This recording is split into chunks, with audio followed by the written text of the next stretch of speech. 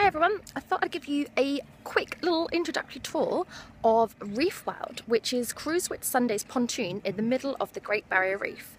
So um, this is where you can do day trips out to from Airlie Beach but also Hamilton Island. And the boat will bring you out and it's a perfect base for snorkeling. You can do introductory scuba diving.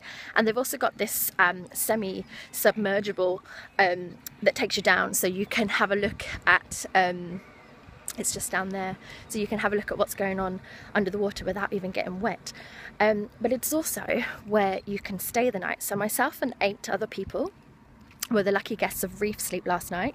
And basically a swag was put out and we slept under the stars um, right here next to these sun lounges so um, the sun went as the sun went down um, the stars came out and um, it was absolutely incredible. But the best thing was sunrise which was about half four this morning um, when the first rays started peeking above the ocean and we all stood here um, and watched the sun come up and it was red and it was purple and it was orange and it was the most beautiful thing.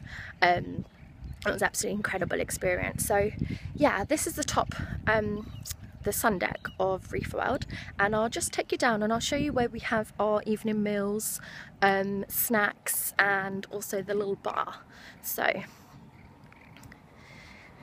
you can see it's slightly overcast today, but you've still got that gorgeous blue of the water.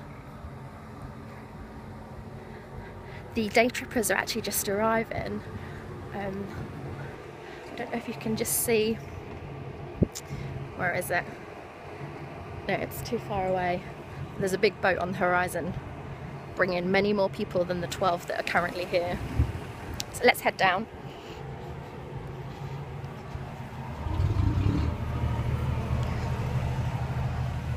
everyone's getting ready to welcome the guests.